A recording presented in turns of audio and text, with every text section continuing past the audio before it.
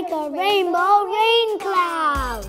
This is how you make a rainbow rain cloud. You need shaving cream, food coloring, and water. First, you fill a clear vase with water. It helps if it's a vase and it's narrow, not a big bowl. Then you need to add shaving cream on top.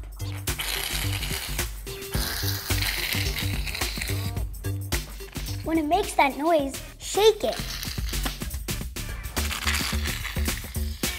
It looks kind of mm, like a cloud, kind of. Make a big pile of shaving cream.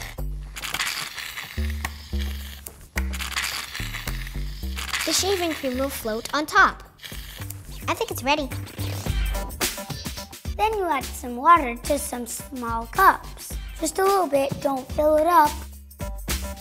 Next, get your color ready. Just a little bit of water with food coloring in it. Then pour your colored water into your cloud. Just pour a little bit. I'm doing purple. Try to put a color on each side so then there's more explosion. I added blue. Now I want to add some red. It's swirling. It takes a little while to soak through the shaving cream. Then the colors go into the water.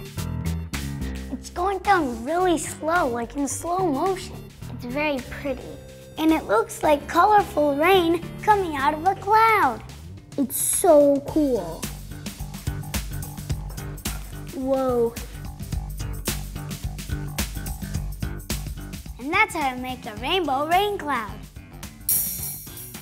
On, press here for more great videos. Come and play with us. You can do it. Press this button.